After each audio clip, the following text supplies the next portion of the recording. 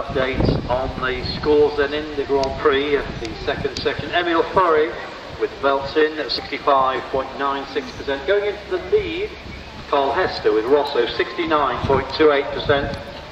Sam Ramatala and uh, WGS Macho 59.45% and Jody Lister with Nikki 64.98%. So uh, ready to restart then in Arena 1. Competitor number 284, it's Henry Boswell next with Marg.